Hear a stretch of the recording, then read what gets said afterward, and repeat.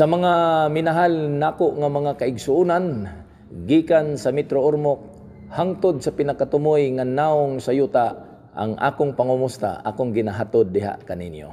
Samtang kita magtuon sa pulong sa Ginoo, ako nagalaom nga ato untang maangkon ang katinawan ug ang kahapsay sa hunahuna tungod kay ang mga pulong sa Ginoo nga atong pagatun-an karon muhatag kanato og dugang paglaom dugang kadasig sa kahimtang atong nahimutangan karon sa kaguliyang sa kalibutan karon ug makapadayon kita sa atong ginbuhaton ingon nga mga alagad sa Dios nga nagapaabot sa iyang pagpadayag hangyoon ko kamo sa pagampo ato iduko ang atong mga ulo o Dios nga balaan, wala kami arang mahimo kung ang imong balang espiritu dili magatabang kanamo sa pagsabot sa imong mga pulong. Nagahangyo kami kanimo Ginoo ining gutloa. Ipakunsad ang imong balang espiritu aron among masabtan ang mataglatid sa imong mga pulong gikan sa balaang kasulatan nga mohatod kini kanamo sa paghibalo sa mga butang nga magakahitabo. Niining umalabot nga mga kapanahonan aron ang among kaugalingon maandam Ginoo sa dili pa ikaw mo padayag. Ako kining ginatugyan ginapasalamatan ng tanan pinaagi kang Ginoong Hesus nga among manluluwas. Amen. Sa balaang kasulatan mga kaigsunan sa Mateo kapitulo 25 adunay gihisgutan diha nga usa ka dakong singgit usa ka dakong panaghilak tunga-tunga sa kagabihon Ingon ang Mateo, Kapitulo 25, versikulo 6. And at midnight there was a cry made, Behold, the bridegroom cometh, Go ye out to meet him. Tunga-tunga sa kagabihon, nagsingabot ang mga pamanhunon ug dunay dakong panaghilak, panagsinggit, panaghugyaw nga nagpamatuod ug nagpahibalo nga ang pamanhunon nagsingabot na. Gani, sa una nga damgo ni Ellen G. White, una nga pananawon ni Ellen G. White, human sa great disappointment. Gipakita sa Ginoo kaniya, ingon ang sinulatan sa Christian Experience and Teachings, page 57, paragraph 2. On this path, the Advent people were traveling to the city which was at the farther end of the path. They had a bright light set up behind them at the beginning of the path, which an angel told me was the midnight cry. Mga igsoon, ang unang vision nga nakita ni Ellen G. White, usa ka sigpit nga dalan paingon didto sa balaang Jerusalem, sa balaan nga gingharian, ug sa likod sa mga naglakaw ni ini, mao ang kahayag nga gitawag og midnight cry. Sa pagpadayon, ingon ang mao nga libro gihapon sa writings ni Ellen G. White, paragraph 3, But soon some grow weary. Others rashly deny the light behind them and said that it was not God that had led them out so far. The light behind them went out. Mga igsoon, sa diha nga ang katawhan sa Ginoo naglakaw sa pananaw ni Ellen G. White, subay sa dalan nga sigpit nga ang unahan ni ini mao ang langit nun nga gingharian. Ang kahayag sa likod nila ning kalit lang og kapalong sa diha nga ang mga tawo nga naglakaw ni ini wala na muangkon nga ang kahayag nga naggiya sa likod nila mao ang kahayag nga gikan sa Dios. Og unsay nahitabo nila? Matod pa sa maong uh, sinulatan sa pagpadayon, leaving their feet in perfect darkness, and they stumbled and lost sight of the mark and of Jesus, and fell off the path down into the dark and wicked world below. Sa pagkapatay na sa kahayag nga naglamdag sa ilang mga dalan tungod kay wala naman sila moangkon nga kini giya ni Ginoong Hesus na matay ang suga, napaong ang suga, og ning ngit-ngit ang palibot, og ning hatod kini, nga ang uban kanila nangahulog ngadto sa pangpang nga gihisgutan sa writings ni Ellen G. White sa mangit-ngit nga makasasala nga kalibutan. Mauna ang background sa vision ni Ellen G. White. Usa ka panahon, si Ginong Isus kauban sa iyang mga tinunan didto ibabaw sa bukid ang Christ Object Lesson, page 406, paragraph 2. As Christ sat looking upon the party that waited for the bridegroom, he told his disciples the story of the ten virgins by their experience illustrating the experience of the church that shall live just before his second coming. Ang nakita ni Ginong Isos kauban sa iyang mga tinunan, didto ubos nga bahin sa maong bukid, kay didto man sila sa ibabaw. Dunay usa ka kumbira nga ginahimo, usa ka kumbira, usa ka panagsadya sa usa ka umalabot nga kasal. O gimension sa Christ Object Lesson nga ang nahitabo o ang mahitabo ni ining napulo ka mga ulay mauusab ang mahitabo sulod sa iglesia, sulod sa katawhan sa Ginoo sa dili pa mobalik si Ginoong Isos. Buot ipasabot ang nahitabo sa ten virgins mao ang mahitabo sa dili pa mupadayag si Ginoong Isos diha sa kahanginan sa langit. Ato kini siyang hinahinayon og pagpasabot sa Mateo kapitulo 25 ang kahulugan ni ini og unsay aplikasyon ni ini sa atong panahon karon nga ginapuy-an og kanato nga mga katawhan sa Ginoo. Mateo 25 bersikulo 1 nagaingon. Then shall the kingdom of heaven be likened unto ten virgins which took their lamps and went forth to meet the bridegroom. The five of them were wise, and the five were foolish. So ang gihisgutan sa Mateo 25, naghisgot kini og duha kapundok sa mga ulay. Ang lima buang-buang, ang lima manggialamon. Gani, gipasabot kini sa Christ Object Lesson sa writings ni Ellen G. White, page 406, paragraph 2. The two classes of watchers represent the two classes who profess to be waiting for the Lord. They are called virgins because they professed a pure faith. By the lamps is represented the Word of God. The psalmist says, The Word is a lamp Thy word is a lamp unto my feet and a light unto my path. So klaro og tin-aw kaayo nga gawas nga gipasabot sa Mateo 25 bersikulo 2 nga dunay napulo kaulay ang lima ni ini buang-buang ang lima manggialamon kini sila girepresentaran nga bisan buang-buang ang lima o bisan manggialamon ang lima usab silang tanan nagbaton og usa ka ti unay nga pagtuo.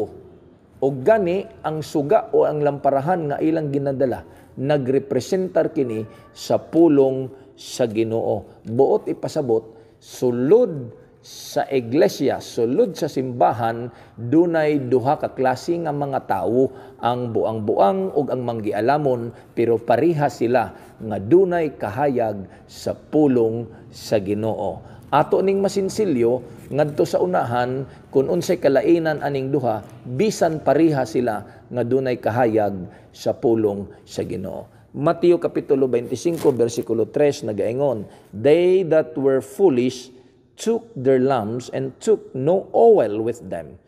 Verse 4, But the wise took oil in their vessel with their lamps.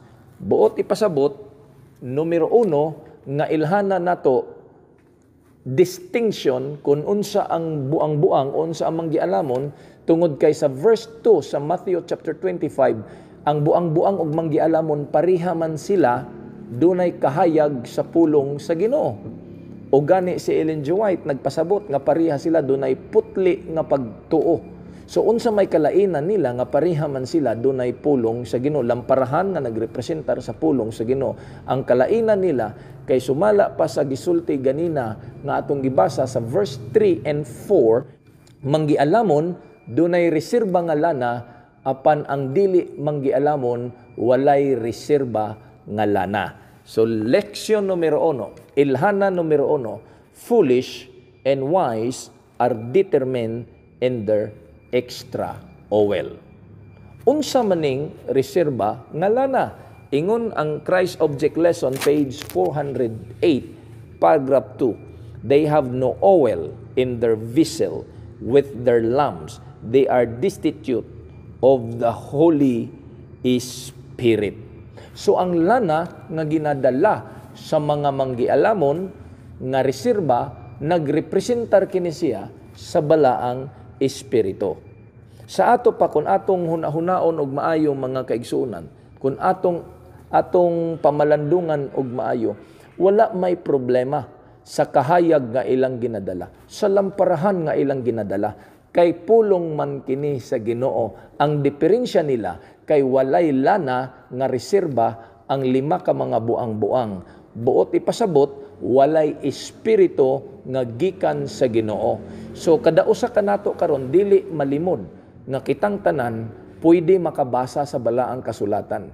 Kitang tanan kabalong mo basa sa pulong sa Ginoo pero dili tanan dunay espiritu sa Ginoo nga ginarepresentaran sa lana nga atong nabasa sa Mateo kapitulo 25. Ingon ang pagpadayon sa Christ Object Lesson. Page 408, maura pod nga paragraph. All had lamps and vessels for oil. For a time there was seen no difference between them. So with the church that lives just before Christ's second coming, all have a knowledge of the scriptures. all have heard the message of Christ near approach and confidently expect His appearing. So sa, sa lima ka mga manggialamon o sa lima ka mga buang-buang nga nagrepresentar sa katawhan sa Ginoo sa dili pa moabot ang Dios si Hesus Kristo nga mao ang pamanhunon walay diferensya kuno nila sumala pa sa writings ni Ellen G. White. So mauusab kuno sa iglesia, sa simbahan, sa dili pa mo balik si Ginoong Isos, tanan dunay kahibalo sa balaang kasulatan, tanan nakaba, nakabati sa pulong sa mensahe sa haduol ng pagbalik ni Ginoong Isos og tanan nagapaabot og naga-expectar sa iyang pagpadayag.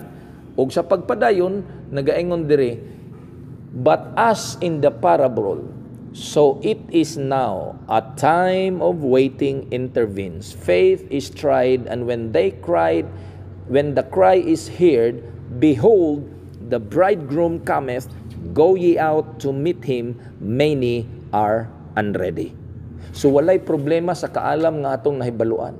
Walay problema sa balaang kasulatan sa mga teksto nga atong na-memorize. Walay ka problema sa kadasig nga atong nabatunan, sa kalagsik sa atong pagtuo o sa atong mga ginahimo sa buluhaton sa Ginoo. Ang napulo kaulay, ang lima ka buang-buang o ang lima ka manggialamon, pareha sila. Walay problema dunay kahayag sa pulong sa Ginoo.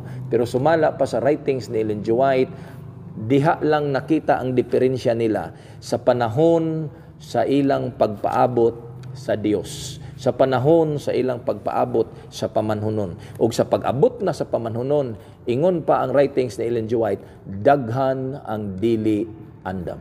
Mga higala, mga kaigsuunan, kini akong napamalandong sa atong iglesia karon, sa atong pag-alagad sa Ginoo, nga dili ma-question ang atong simpatiya, atong kadasig, ang atong commitment ngadto sa Ginoo kay pariha ta mag-worship, pariha ta magbasa sa Biblia, pariha ta nag-Bible study, pariha ta naglihok sa kabubuton o sa buluhaton sa Ginoo pero diha lang makita sa unahan sa dili pa mobalik si Ginoong Hesus kay makita ang diferensya sa walay reserba nga lana. Nganuman akong napamatudan nga samtang matulog ko sa unang panahon diha pa ko sa akong pagkabata dili ko ganahan matulog kun walay lamparahan walay buntagan walay suga. Ug akong nabantayan nga sa panahon nga ako mumata ngit-ngit na ang palibot. Tungod kay ang iyang nga lana or ang iyang nga gas maubos siya suyupon siya sa kadako sa kahayag. Buot ipasabot mga igsuon dili garantiya nga duna kay dako nga kahayag dili garantiya nga hayag kaayo ka. Unya wa kay reserba nga lana kay moabot gayud ang panahon nga ang imong kahayag muawp na siya mupalong na siya kay wala kay reserba nga lana. Sanglit si Ellen G. White nagsulti nga sa pag-abot sa pamanhunon bisan ang napulo kaulay pareha sila dunay lamparilya lamparahan nga nagrepresentar sa pulong sa Ginoo. Ingon gihapon ang Christ object lesson many are unready. Daghan kanato ang dili andam. So aton tanawon igsoon gani sa atong panahon karon ingon ang unang Juan 2:19 daghan ang gikan sa iglesia daghan ang gikan sa pag-alagad sa Ginoo nga nanghawa. Mga dasig sa simbahan pero nangawala nangaluya nangawagtang sa pagpangalagad tungod sa gisulti ni Ellen G. White the time of waiting intervenes. Ang panahon sa pagpaabot sa pagbalik sa pamanhonon mao ang ningsulod sa atong taliwala. They went out from us but they were not of us for if they had been of us they would no doubt have continued with us. But they went out that they might be made manifest that they were not all of us.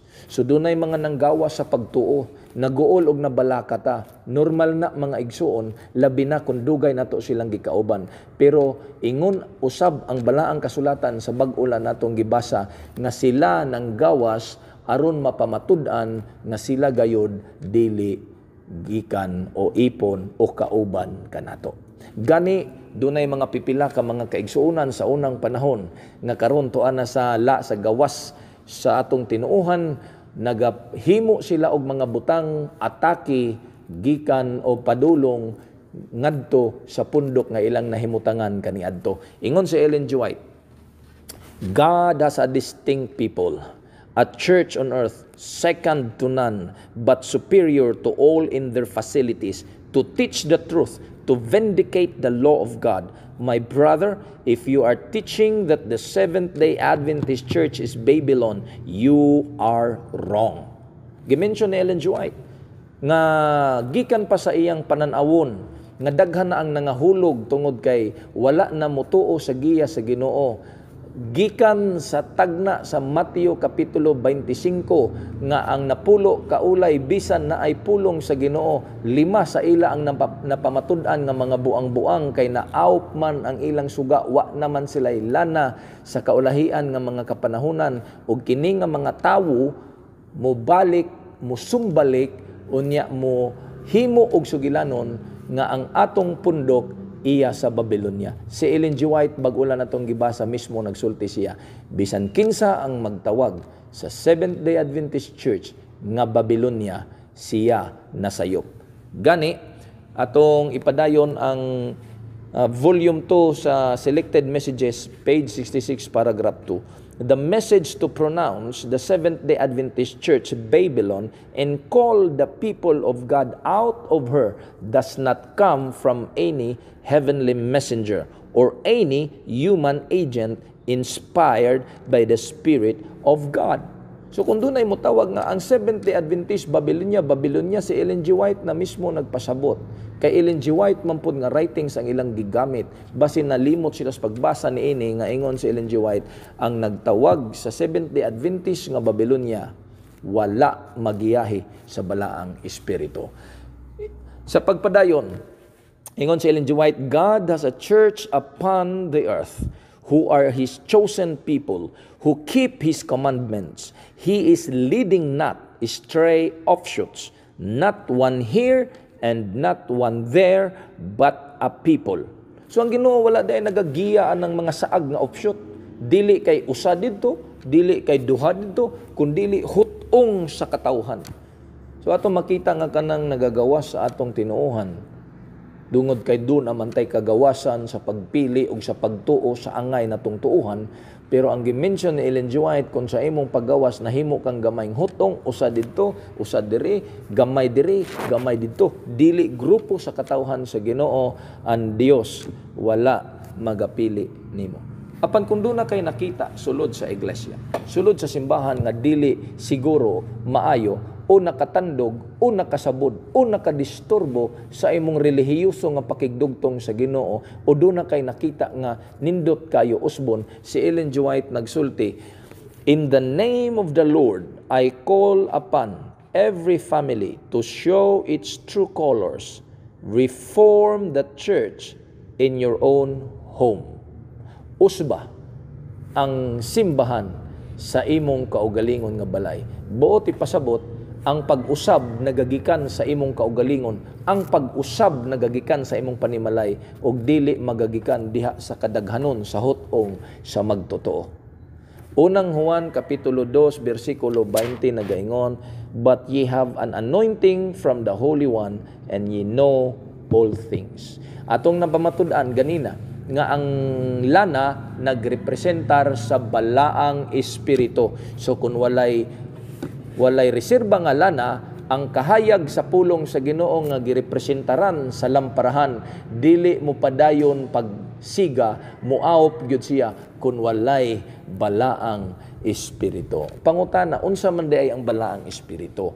Unsa man di ay relasyon ana sa pulong sa Ginoo nga maong lamparahan? Unsa may relasyon ni ana sa hutong sa katawhan sa Ginoo nga nagpaabot sa pamanhunon nga mao si Ginoong Hesus? Unsa man di ay relasyon sa balaang espiritu?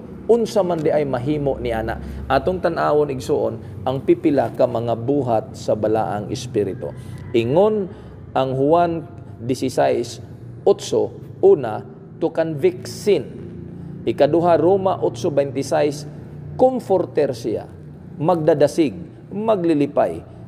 John 16.7, counselor ang balaang espiritu, magtatambag. John 16:13 mugiya sa kamatuoran guide to the truth John chapter 3 verse 3 to 8 muhatag og bag-ong pagkatao it will give a new birth and last in Acts chapter 1 verse 5 to 8 it will give power and strength in preaching so kung wala ang balang espiritu walay mo convict nimo sa sala walay mo pahinumdum nimo nga ikaw nakasala kung wala ang bala ang espiritu, way mo lipay nimo, way mo dasig nimo. Kung wala ang bala ang espiritu, walay mo hatag kanimo og bag-ong pagpakatao, bag-ong relasyon. Kung wala ang bala ang espiritu labaw sa tanan, walay mo hatag nimo kusog sa pagpangwali sa maayong balita.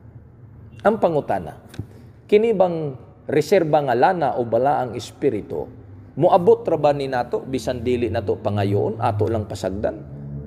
Ang Lucas 11.13 nagasulti, If ye then, being evil, know how to give good gifts unto your children, how much more shall your heavenly Father give the Holy Spirit to them that ask Him? Ang balang Espiritu, ihatag siya, sumala sa mabasa, sa amahan, sa diha nga mangayo ang usa ka tawo. Kay kun di nimo pangayoon ang balang espiritu, dili usab siya ihatag. Sa diha nga ihatag ang balang espiritu igsuon, kay naaman siya buhat, naa siya ginbuhaton sa atong kinabuhi, sa atong kaluwasan, igsuon dili nato pasubon. Kay bisan pag ang balang espiritu atong gipangayo, pwede nato siya pasubon. Sanglit, ang Biblia nagtambag nga ayaw gayud pasuba ang balaang espiritu. Ingon ng Episo 4 versikulo 3, and grieve not the Holy Spirit of God, whereby ye are sealed unto the day of redemption. Ayaw pasuba ang balaang espiritu sa Ginoo diin ikaw ginasilyuhan sa adlaw sa pagtubos. Akong ipananglit ninyo igsoon na dunay usa katawo sa Ginoo nga gibiyaan siya sa presensya sa Dios. Tungod kay wala naman siya naminaw ni ini ginapasubo naman niya ang tambag sa Dios ngadto sa pamilya ni Samson o kang Samson mismo wala natuman ilang gikompromisa tanan hangtod ang iyang sekreto sa iyang kusog nga mao ang taas niyang buhok iyang natug-an ni Delilah. Sanglit ang nahitabo maghuhukom 16:20 nagaingon and she said si Delilah the Philistine be upon thee Samson. And he awoke out of his sleep and said I will go out as at other times before and shake myself and he wist not or sa laing kanang translation and he know not that the Lord was departed from him. Kita mo? Ang Ginoo ni Hawa gikan kaniya pero wa siya kabalo. Kinsa man nga Dios? Dios amahan. Natural ang balaan ni nga espiritu ning hawa niya pero wala siya kabalo. Mao ni ang atong dakong pamalandungon mga kaigsunan. Basin nagsalig kita nga atong gipangayo ang giyas balang espiritu, ang presensya sa balang espiritu nga mupuyo sa sulod nato. Pero sama ni Samson sa diha nga atong ikompromiso kini ang mga tambag, mga pasidaan o ang pagkinabuhi diha sa espiritu. Basin mo abot ang panahon nga dili kita mahibalo nga ang presensya sa balang espiritu mobiya na gikan nato. Sanglit si Pablo nagsulti sa 2 Corinto kapitulo 13 bersikulo 5, Examine yourselves whether ye be in faith. Prove your own selves, know ye not your own selves, how that Jesus Christ is in you, except ye be reprobates. Isusihon kanunay nato igsoon kung naapapatadiha nagkinabuhi kauban sa balaang espiritu. Ikaduha, nga distinction sa manggialamon o dili manggialamon nga mga ulay they live equally in the midst of the delay Although dili siguro ni siya is, uh, distinction, I mean, sa karakteristik sa kinaiyahan sa ilang paghulat, diha makita ang ilang kalainan. Ngano, bisan tuod pariha sila, gikapoy. Bisan tuod pariha sila natulog, pero dili sila pariha og preparasyon. So, ikaduha nga distinction sa ulay og nga manggialamon og sa ulay nga dili manggialamon sa diha human sa ilang pagkatulog human sa ilang pagbangon kay dunay usa ka butang nga nawala gikan sa na, lima ka ulay. Ingon ang Mateo kapitulo 25 bersikulo 5, But while the bridegroom was delayed, they all slumbered and sleep. Nalangan ang pamanhunon. Sila tanan gikapoy natulog sila. Pero usahay makapangutan ta, pastor, nganong naamay naghisgot man og nalangan ang pamanhunon, nalangan di ay si Ginong Isus sa iyang timetable sa adlaw sa iyang pagpadayag ni ining kalibutana akong tubag wala nalangan ang Dios kay ang Dios on time ang Dios is not bound God is not bound by any time. He is God. Pero nganong nakahisgot ang balaang kasulatan na langay it is not because on God's part but it is because on the part of the virgins sa mga ulay nga girepresentaran mga alagad sa Ginoo. Atong tan-awon ang usa ka komentary. Christians today would do well to remember that the heavenly bridegroom's delay is not due to any lack of preparedness on his part. He could have come long ago had his people been ready to welcome him and had they been faithful in completing their appointed task of re- preparing the world for His coming. Dugay ra untang mobalik si Ginoong Hesus kung ang katawhan niya andam palang unta sa pag-abi-abi o pagsugat niya o kung ang katawhan niya mga alagad niya nagmatinud anon lang unta sa tahas nga gihatag sa Dios kanila nga mao ang pag-andam sa kalibutan sa dili pamobalik si Ginoong Hesus. Ingon ang Mateo 25 versikulo 6, And at midnight there was a cry made. Behold, the bridegroom cometh, go ye out to meet him. Then all those virgins arose and trimmed their lamps. And the foolish said unto the wise, Give us of your oil, for our lamps are gone out. Atong i-stretch out, atong binaton, palapdon, kining statement, midnight there was a cry. Dunay nag ingon pastor ang pag-abot des pamadhonon tunga-tunga des kagabihon o alas 12 di ay o posible ang pag-abot sa Ginoo alas 12 gyud di ay igsuon ang mao nga context sa Biblia. Wa naghisgot og oras midnight. Naghisgot siya og karakteristik kinaiyahan sa usak ka panahon nga gitawag og midnight. Sa inyong hunahuna pag ingon og midnight unsa man gyud ang midnight?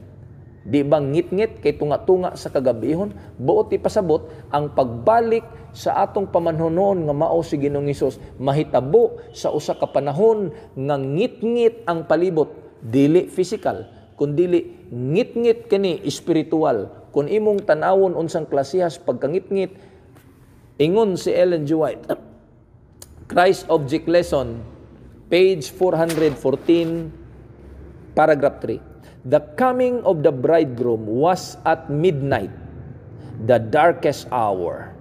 So the coming of Christ will take place in the darkest period of this earth's history. The days of Noah and Lot picture the condition of the world just before the coming of the Son of Man. So klaro kayo nga dili oras ang gisgutan sa midnight, kun dili ang usak ka kahimtang sa panahon nga gitawag og midnight o ngitngit kay gani naghisgot man sa panahon ni Lot nga ang kalibutan sumala pa sa mabasa is a condition of the world just like Noah and Lot before the coming of the Son of Man. Ato ipadayon. Now only Satan leading the world captive, but his deceptions are live, leavening the professed churches of our Lord Jesus Christ, the great apostasy will develop into darkness deep as midnight. So ang kahimtang nga midnight diin diha sa katawhan sa Ginoo mugitib ang usa ka apostastiya. Gitawag kinig deep midnight ngit-ngit nga kahimtang sa katawhan sa Dios and sa pagpadayon niini John was filled with sadness as he saw these poisonous errors creeping into the church.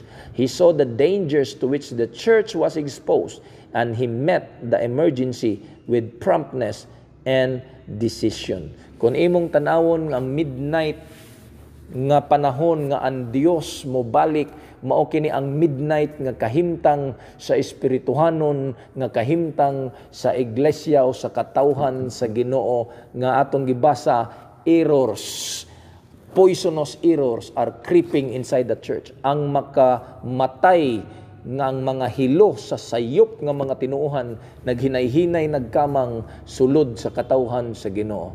Kung imong tan-awon ang palibot karon mga kaigsunan, makakonklud ka, makaingon ka that we are now living in the darkest period of church history, in the darkest period of earth history.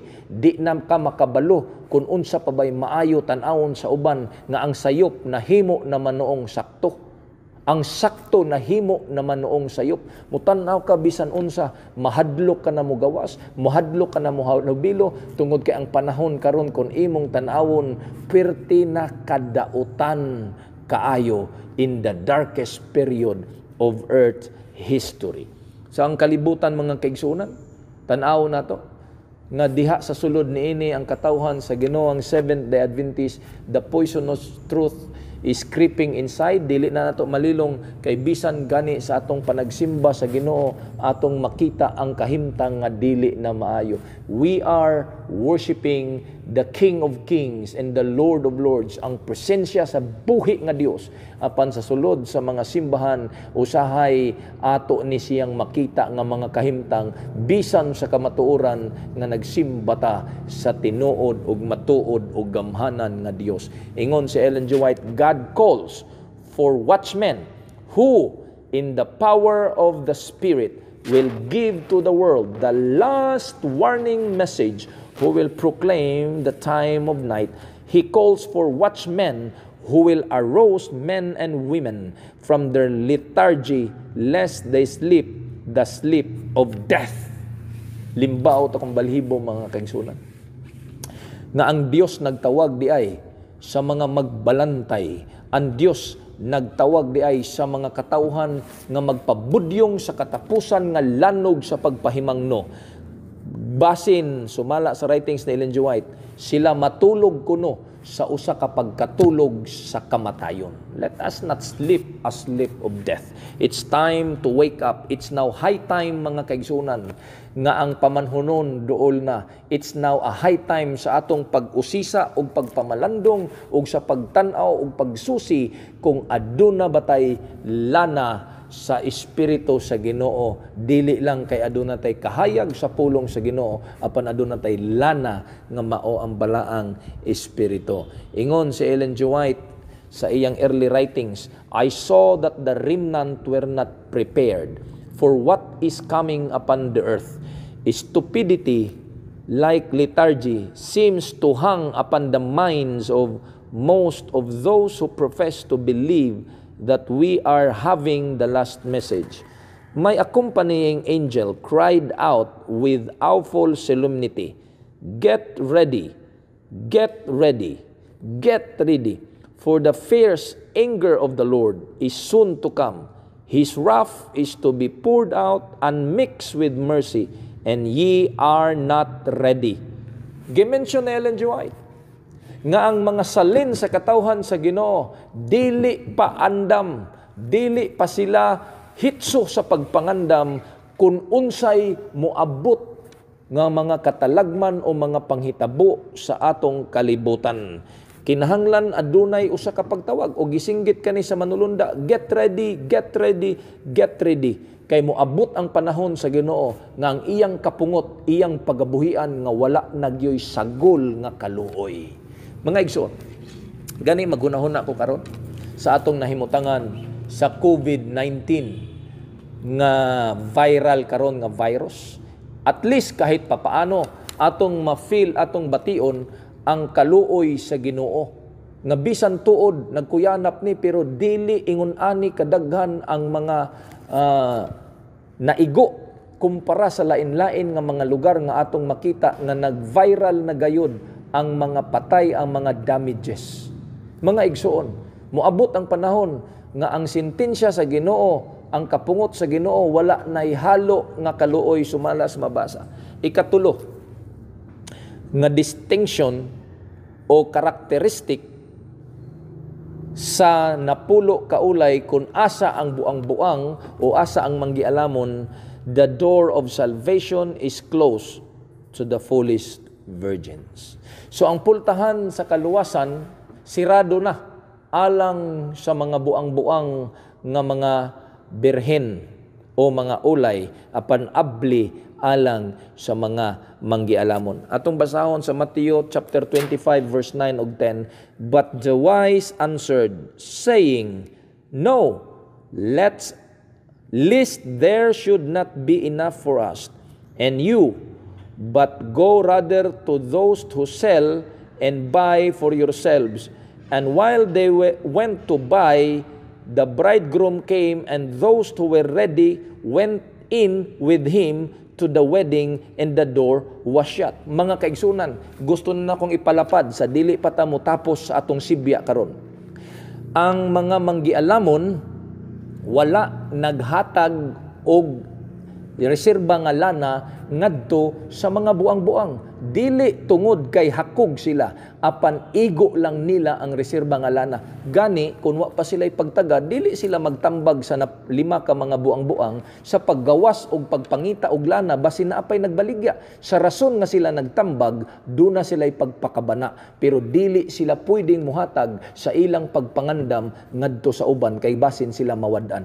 Mga igsuon ang buot nako ipasabot Walay usa nato sa pundok sa magtotoo sa Ginoo nga pwede mohatag kanimog pagtuo, pwede maoy mangandam para nimo, pwede maoy mag magtikaw-tikaw para sa imong obligasyon sa buluhaton sa Ginoo o para sa imong pagpangandam sa buluhaton sa Ginoo ug sa iyang pagpadayag. Ang ang pagpangandam igsuon kinahanglan himuon sa matag usa kay pag abot unya sa pamanhunon dili pwedeng ang pagtuo sa usa ihatag dihas imo sanglit ingon ang mga lima ka mga manggialamon dili kami makahatag niana ug tuod man matod ni Ellen G. White sa iyang sinulatan Christ Object Lesson while they went to buy nanggawa sila sa pagpamalit the procession moved on and left behind The five with lighted lamps joined the throng and entered the house with the bridal train, and door was shut. When the foolish virgins reached the banqueting hall, they received an unexpected denial. The master of the feast declared, I know you do not I know you not. They were left standing without in the empty street in the blackness of the night. Sa ilang pagbalik, ang pultahan sa kumbira nasirado na ug miingon ang tag dumala sa maong pultahan wala ako makaila kaninyo pahawa kamo mga igsuon sa sama nga paagi basin unya ulahin na ang atong pagpangandam unya ang atong hunahuna makasulod pa kita sa kumbira sa Ginoo sa kaluwasan sa Ginoo sama sa napulo kaulay lima kanila ang giprangkahan wala ko kamo igkaila pahawa kamo atong pamalandungan igsoon sa writings ni Ellen G. White sa pagpadayon they went to buy after the close of probation it will be too late to acquire those traits of character needed to accompany the heavenly bridegroom to his father's house, not because of any unwillingness on the part of God, but because character has already been fixed. Buti pasabot, sa diha nga sila na malit ni ini, ulahin na kanila ang pagkuha og usa og mga kinaiya o mga binatasan nga maoy mukig-uban sa langitnon nga pamanhunon. Panahon di ay karon nato igsuon ang pagpangandam. Sa mga kinaiya, mga kinaugalingon nato nga pagpangandam nga sa pagbalik sa pamanhuno nato takos kita makasulod sa usa ka kumbira sa kasal. Dunay duha ka klase labi na sa usa ka ilustrasyon sa simento. Kining pagmasa makapurma pa ka bisan unsay imong gusto buhaton. Gitawag gitawag kini og forming stage. Apan kun mapurma na ng halublak dili na kana forming kun dili fix na na siya. Buot ipasabot sa karon nga panahon naapata sa forming of characters. Pagpangandam pero ma-fix na gali na igsuon dili na gyud na bisan unsaon pa na nimo kun pagsira sa kaluwasan fix na gyud na siya Ingon si Ellen G. White sa Christ Object Lesson, without the Spirit of God and knowledge of His Word is of no avail. The theory of truth and unaccompanied by the Holy Spirit cannot quicken the soul or sanctify the heart. One may be familiar with the commands and promises of the Bible, but unless the Spirit of God set the truth home, the character will not be transformed. Mga igsoon, sama sa napulo kaulay, sama sa lima ka mga manggialamon, sila dunay kahayag sa pulong sa Ginoo nga mao ang lamparahan ug duna pud sila'y reserba nga lana nga mao ang balaang espiritu nga wala na patay ug napaong ang gahom sa pulong sa Ginoo kay duna ang lana nga mao ang balaang espiritu. Ang balaang espiritu sumala sa writings ni Ellen G. White, it will set the truth home ipun ipundar sa sa balaang espiritu ang kamatuuran diha sa imo nga bisan unsaon pa ug ukay sa imong pagkatao sa nagkalain-lain nga mga kahimtang sa kinabuhi the truth is already set strongly constantly like a pillar diha sa imo igsuon sa atong pagpanapos Ingon ang pinadayag Kapitulo 22, versikulo 11. He that is unjust, let him be unjust still. And which is filthy, let him be filthy still. And he that is righteous, let him be righteous still. And he that is holy, let him be holy still. Buot ipasabot mga kaigsuunan nga walay usa kanato karon na hibalo kanus asiradan ang kaluwasan. Ang Dios lang ang nasayod. Maubitaw nga ang atong pagpangandam na agyod karon. Kay nga naman, kung masiradan sa Ginoo ang kaluwasan kay siradan mangyud sa Ginoo ang kaluwasan sa dili pa siya mobalik gikan sa langit kay wala may nasayod nato ang pagpangandam ato ng himuon karon nga dili lang dunatay kahayag sa balaang kasulatan nga swito ta sa pulong sa Ginoo duna sabtay reserba nga lana nga mao ang balaang espiritu ug sumala pa sa Lucas 11:13 nga atong gibasa ganina ato kining pangayoon pirmi ang lana nga mao ang balang espiritu aron sa matag adlaw sa atong pagkinabuhi. Dunay mo giya kanato dunay mo sabdong kanato sa atong sayop ug dunay mulig-o nato ug dunay muhatag nato og kagahom ug kaisog sa pagsangyaw sa maayong balita. Si Ellen G. White nagsulti sa uh, volume 1 sa selected messages Pahina 192, paragraph 1. When the mighty angel will come down from heaven and unite with the third angel in closing up the work of this world, my message is that our only safety is in being ready for the heavenly refreshing, having our lamps trimmed and burning. Wa tay kasiguruhan igsuon kung mangita tag kasiguruhan sa tong kinaugalingon apan ingon si Lindsay White ang ato lamang kasiguruhan mao nga andam kanunay ang atong mga lamparahan trim and burning. Kanunay siya nagsiga. Nganong kanunay nagsiga? Kay kanunay na atay reserba nga mao ang balaang espiritu. Mga igsuon niining takna hangyoon ko kamo. Samtang kita nagaatubang sa matag adlaw nga hagit nga nahimo kining dako nga kahadlok ilabi na sa uban nga mga kaigsuonan. It is now a high time sa pagpamalandong sa pulong sa Ginoo ug sa paghangyo kanunay sa iyang balaang espiritu aron mugiya kini kanato kay ang pamanhunon nagsingabot na. Kapuyon man ta nining yuta, makatulog man ta sa kakapoy, madiskuryo man ta sa kakapoy, sumala sa napulo kaulay, nga bisan ang buang-buang o ang bisan ang magialamon, pariha sila nakatulog. Pero ang diferensya sa diha nga nang mata sila tungod sa usa ka singgit nga niya na ang pamanhunon, lima kanila ang andam sa pagsugat kay naa kanunay sila'y reserba nga balaang espiritu. Mga igsoon, let us seek the Holy Spirit as we are coming closer and closer and closer to the coming of the bridegroom. Magdukot as pagampo. O Diyos nga balaan, wala kami nasayod sa takna sa imong pagpadayag. Apan nasayod kami sa takna nga among nahimutangan karon ang panahon nga among gipuy-an karon nagatudlo kanamo nga ang imong pagpadayag dili na gayud madugay ug ikaw magakuha kanamo Ginoo tuguti nga ang imong balang espiritu kanunay mo puyo kanamo aron bisan pa sa panga eksperyensya nga among maeksperiensyahan ining yutaa bisan pa sa mga paghilak mga pagbangutan o bisan pa kami madiskuryo Ginoo makatulog sa kakapoy espirituhanon. Apan sa imong pagpadayag kami makasiguro nga kami makasugat kanimo kay ang among kahayag nagapadayon sa pagsiga pinaagi sa balaang espiritu amo kining ginatugyan ang tanan pinaagi kang Ginoong Hesus nga among manluluwas. Amen o amen.